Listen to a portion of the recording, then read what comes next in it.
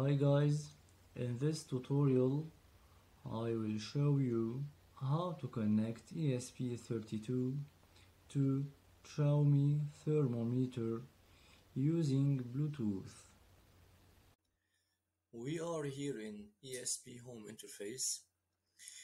I have created a living room file and now I will upload it to the ESP32. So you will cl click on upload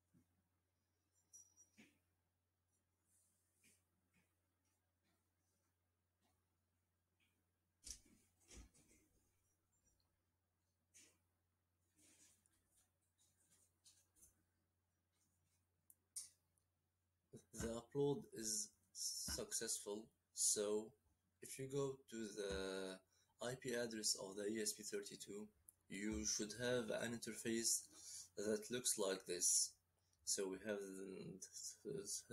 the, temperature, the humidity, the battery level, etc.